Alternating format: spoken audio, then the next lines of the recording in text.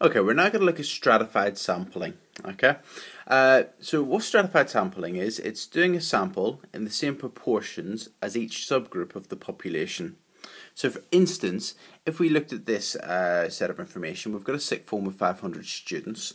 Well, it wouldn't be fair to take, if we're doing a sample of 30, it wouldn't be fair to do a quarter of vocational, a quarter of the 30 is vocational, a quarter of them being science, a quarter of them being languages, and a quarter of them being arts.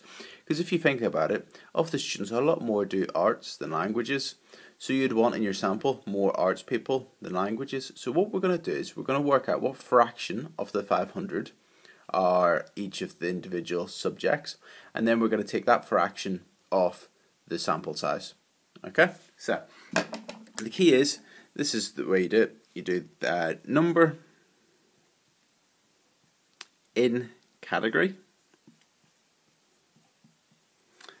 over the total number of students. So that's the fraction. So for instance, for vocational, there's 100 doing vocational out of 500. So that'd be 100 out of 500, a fifth. And then times by sample size. Okay, so that's how you'd work out the stratified sample for each of the subjects. So let's work it out.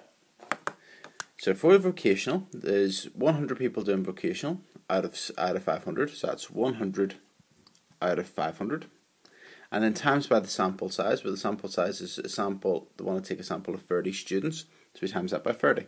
So um, you could do this with or without a calculator. 100 over 500 is a fifth, and a fifth of 36. But can, let's just do it in a calculator just to show you.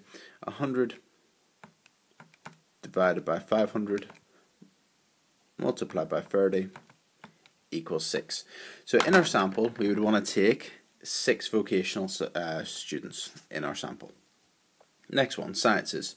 There's 160 scientists out of the 500 times by the sample size of 30. Uh, again, you could do this um, without a calculator, so cancel it down, so 16 50ths, 8 25ths, and so on, and then take that fraction off the thing. Sometimes it's just easier to use your calculator. 160 divided by 500 multiplied by 30 equals 9.6. Actually, a lot easier using your calculator. So 9.6. Next one, languages. Okay, so the 65 people doing languages. So that's 65 people out of the 500. So times by the sample size of 30. So 65 divided by 500 times by 30 equals 3.9. So you want to take 3.9 students to languages. We'll come back to these decimal numbers later. Okay, and arts. So arts is 175. So it's 175 out of the three out of the 500 times by the sample size of 30. So we do 175 divided by 500 times by 30 equals 10.5. So we want to take 10.5 students doing arts. Okay, so we have taken a stratified sample. Okay, that means that out of the 30 students, these numbers here would be in the right proportions to the original information or the original data. Okay. Now, unfortunately, although these are in the right proportions, they're not practical. I can't ask 9.6 uh, scientists unless it's somebody that's not, you know, a bit short. Um, but let's work out actually then how to do this. Okay, so let's round these numbers to make nice, easy, nice numbers to round. Okay, so uh, what we'll do is we'll round up first of all the 3.9, so we get 6 and 4 okay? So we've rounded up the 3.9 because it had the highest decimal number okay? Uh, so that's 10 so we want another 20 okay?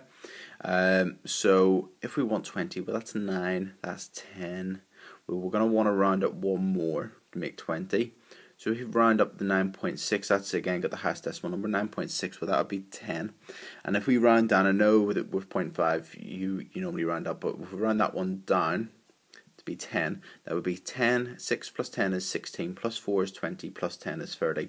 You've got to make sure that you've only got 30 students, so you can't just round up, round up, round up, round up. If you round it up on all of them, that'd be 6, 10, 4, and 10. Well, 6, 10, 4, sorry, 6, 10, 4 and 11. Well, 6, 10, 4 plus 11 is 31, and that'd be too many. So what I've chosen to do is to not round up the highest, or the, the one with the smallest uh, number after the decimal point. So although 10 would know, 0.5 would normally round up, well, I've chosen not to round it up here, okay?